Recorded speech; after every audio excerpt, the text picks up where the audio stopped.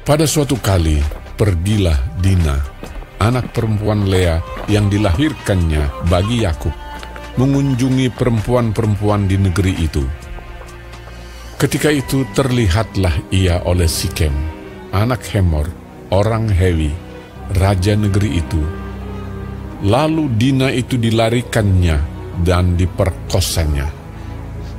Tetapi terikatlah hatinya kepada Dina, anak Yakub. Ia cinta kepada gadis itu, lalu menenangkan hati gadis itu. Sebab itu berkatalah Sikem kepada Hemor, ayahnya, Ambillah bagiku gadis ini untuk menjadi istriku. Kedengaranlah kepada Yakub bahwa Sikem mencemari Dina. Tetapi anak-anaknya ada di padang menjaga ternaknya. Jadi Yakub mendiamkan soal itu sampai mereka pulang. Lalu Hemor ayah Sikem pergi mendapatkan Yakub untuk berbicara dengan dia. Sementara itu, anak-anak Yakub pulang dari padang, dan sesudah mendengar peristiwa itu, orang-orang ini sakit hati dan sangat marah karena Sikem telah berbuat noda di antara orang Israel dengan memperkosa anak perempuan Yakub. Sebab yang demikian itu tidak patut dilakukan. Berbicaralah Hemor kepada mereka itu. Hati Sikem anakku mengingini anakmu. Kiranya kamu memberikan dia kepadanya menjadi istrinya. Dan biarlah kita ambil mengambil. Berikanlah gadis-gadis kamu kepada kami, dan ambillah gadis-gadis kami. Tinggallah pada kami, negeri ini terbuka untuk kamu. Tinggallah di sini, jalanilah negeri ini dengan bebas, dan menetaplah di sini. Lalu Sikem berkata kepada ayah anak itu dan kepada kakak-kakaknya, Biarlah kiranya aku mendapat kasihmu. Aku akan memberikan kepadamu apa yang kamu minta. Walaupun kamu bebankan kepadaku uang jujuran dan uang mahar seberapa banyak pun, aku akan memberikan apa yang kamu minta. Tetapi berilah gadis itu kepadaku menjadi istriku.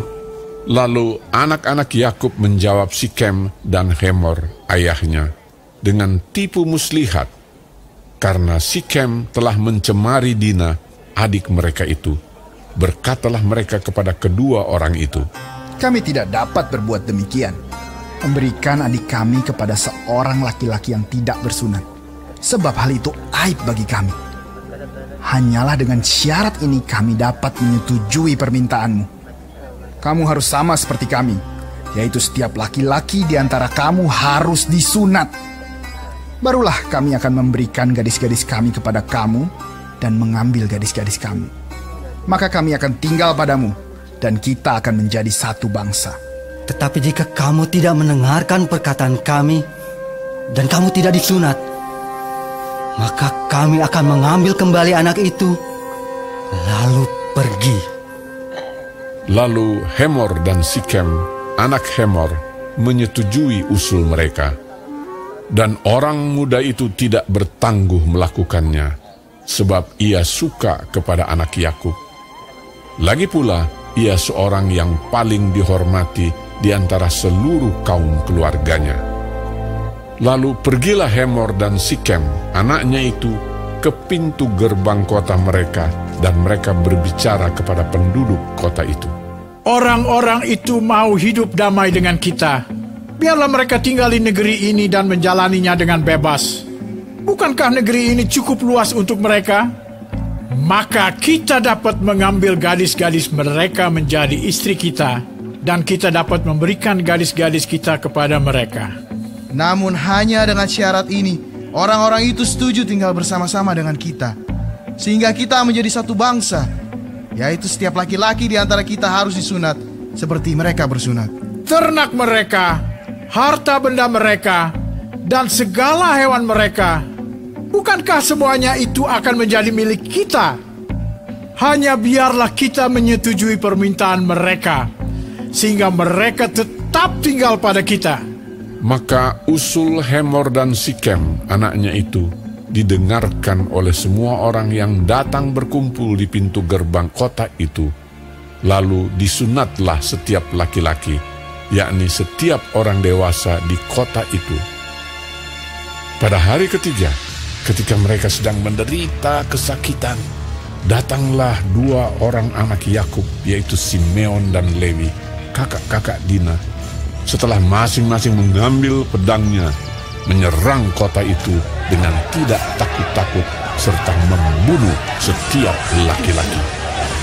Juga Hemor dan Sikem, anaknya, dibunuh mereka dengan mata pedang. Dan mereka mengambil Dina dari rumah Sikem lalu pergi. Kemudian datanglah anak-anak Yakub merampasi orang-orang yang terbunuh itu, lalu menjarah kota itu karena adik mereka telah dicemari. Kambing dombanya dan lembu sapinya, keledainya dan segala yang di dalam dan di luar kota itu dibawa mereka. Segala kekayaannya, semua anaknya dan perempuannya ditawan dan dijarah mereka, juga seluruhnya yang ada di rumah-rumah.